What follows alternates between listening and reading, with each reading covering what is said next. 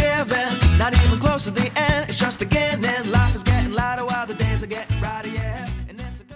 Ờ, thật ra trước khi mà tới cái lớp laser vi thi thì mình đã trải qua một cái khóa học ở một cái ờ, bệnh viện rất là lớn về cái, ờ, về da liễu một khóa học laser kéo dài tới gần 4 tháng thực sự là sau khóa học đó thì mình không có thỏa mãn được cái cái cái đam mê và tìm hiểu về laser của mình tại vì laser mình cảm giác là giống như là một cái kỹ năng một cái kỹ năng lái xe vậy đó mình không thể nào học lý thuyết không mà mình, mình chỉ đứng mà nhìn người ta lái mà biết lái được.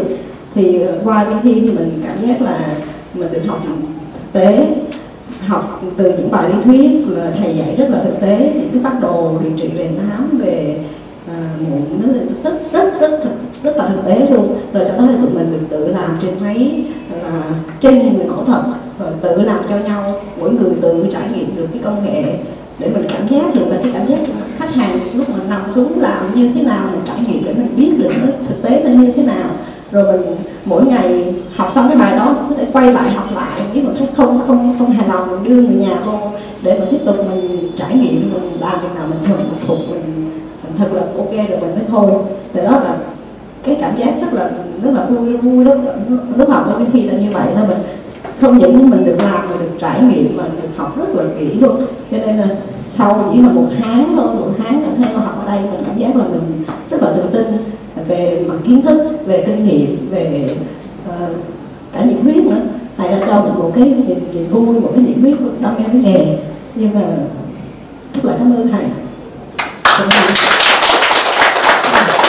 Thì thật ra thì với máy móc công nghệ cao là một cái ngành mới mà một cái ngành trong ngành mỹ quan em cũng muốn học từ rất lâu rồi nhưng mà do cái thời gian em đi công tác cũng như là cái công việc của em nó rất là xích sao nên em cũng uh, rất là chăn trở để em học. Uh, em tìm cái đơn vị để em uh, uh, học về laser thì em trên thị trường thì có rất nhiều cái đơn vị họ mở ra họ đào tạo laser. Tuy nhiên thì trong ngành thì đối với thương hiệu Vinny là em cũng đã biết từ lâu rồi. À, thì có một cái cơ duyên là khi Vinny vừa mới mở cái khóa đầu tiên ra là em đăng ký ngay.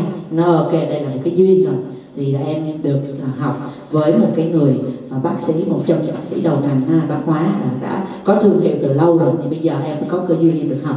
Thì trong sau một quá trình học thì bản thân em là dân mỹ phẩm mà em nhìn thấy máy em cũng sợ em không bao giờ em dám đụng vô hết chỉ có nhìn bác sĩ từ xa làm thôi. Nhưng mà cái qua cái khóa này nó là một cái bước ngoặt rất là lớn đó là gì?